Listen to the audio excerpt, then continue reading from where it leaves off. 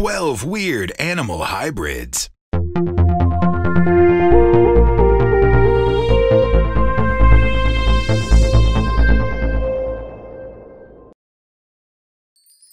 Number 12. Beefalo. A domestic rancher's dream, the beefalo is the hybrid of a cow and an American buffalo. You said what? These hybrids have the toughness of a bison, able to survive weather much harsher than an average cow ever could. And their meat was also found to be lower in cholesterol and fat content. True. This animal is marketed as a healthier meat alternative and may come to be a staple in our grocery stores one day. Number 11. Zeedonk. The zeedonk has been around for years. First mentioned by famous naturalist Charles Darwin, it is the result of a donkey and a zebra. What? Whoa, whoa, whoa, dude, what? Wild zebras travel in enormous herds, and hybrids may result when they come in contact with individual or herds of donkeys. Zeedonks take the personality of a zebra and may even be spotted in wild zebra herds from time to time. In most cases, the father is a zebra and the mother is a wild donkey. Is that true? These animals tend to have striped bodies that are brown opposed to white and are also sterile, unable to produce any young of their own. In the wild, they are primarily found in South Africa, where populations of donkeys and zebras share an overlapping range. Number 10. Yakalo. The yakalo is another cross of the American bison, this time with a yak. Whoa, dude, slow down. These animals originated in the 1920s when the original hybridization experiments between the two breeds took place. It's like crazy. These two species do not come in contact with each other in the wild and are purely a man-made hybridization. These figures do not compute. The yakalo have a low survival rate and were never common hybrids to find. Males are born infertile, making it impossible for breeders to create a sustainable population. While yakalo who survived make good cattle, the difficulty breeding and keeping these animals healthy made them not worth the work. Number 9. Zorse Another zebroid combination, the Zorse is an offspring of a zebra stallion and a horse mare. Like other zebroids, this animal is unable to reproduce and is rare to find in the wild. The Zorse has short, striped, coarse hair and a tufted mane along its neck.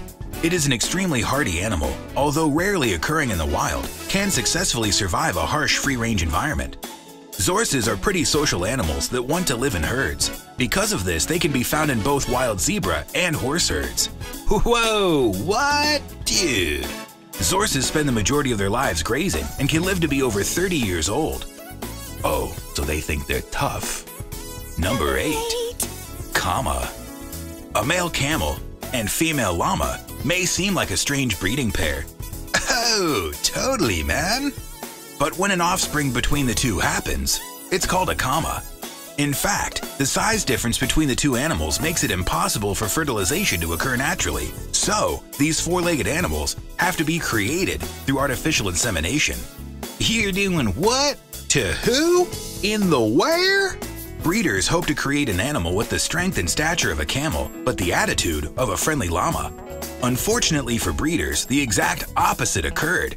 These animals have the cantankerous behavior of camels and are about llama size. Trying to reverse the sex of the hybrid species doesn't result in a successful mating, so the cama is the only possible middle ground between the two species. For now.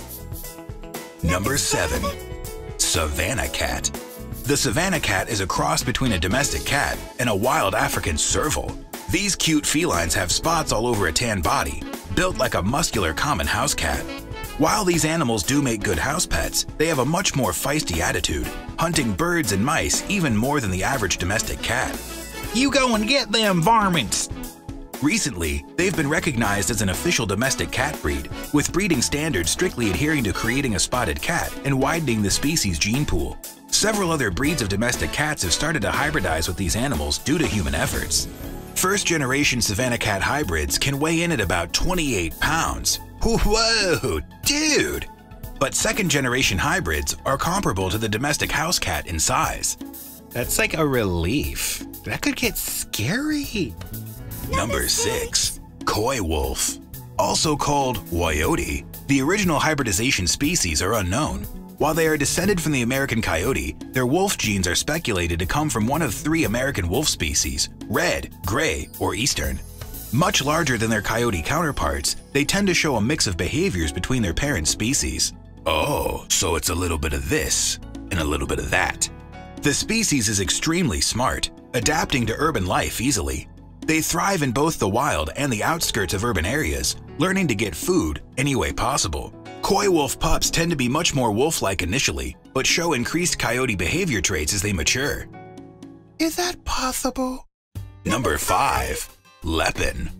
A leopon is a hybrid offspring of a male leopard and a female lion. How'd you make one of them? These hybrids are made exclusively in captivity, as the two animals share little of the same natural range and do not come in contact with one another. Leopons have the head of a lion and the body of a leopard. Oh, dude!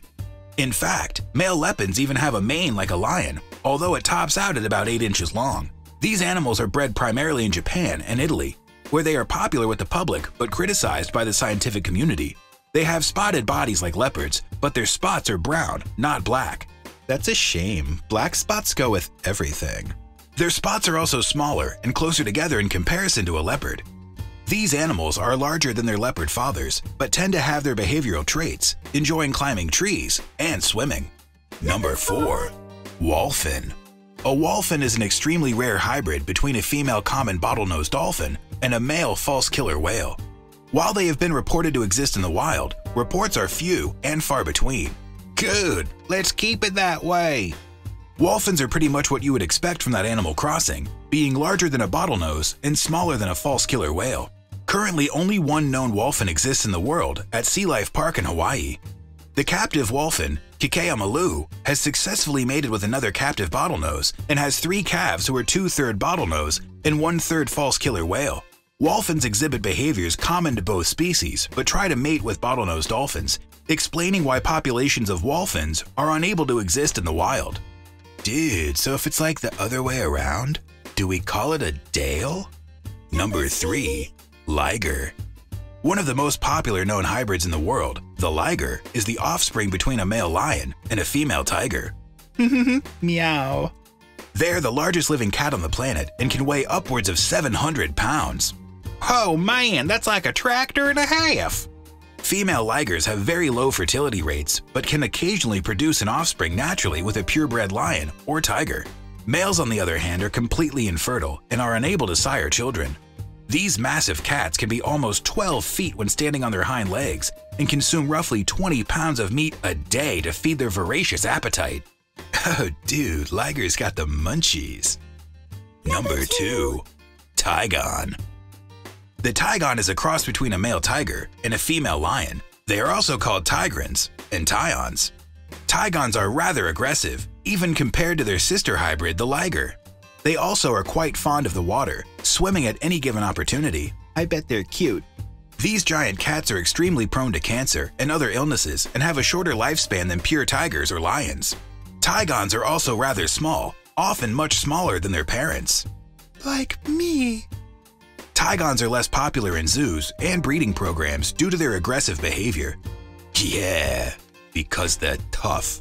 And are also less likely to survive the birthing process, leading to them being a relatively rare hybrid to find, even in captivity. Scanning files for new Tigon numbers. No new numbers found. Number 1. Grolar Bear This huge bear naturally occurs where grizzlies and polar bears come into contact. Due to climate change, polar bear habitat has been decimated and giving polar bears and grizzlies pretty frequent access to hybridize. Grolar bears are huge and tend to act more like polar bears than grizzlies, although they are relatively poor swimmers.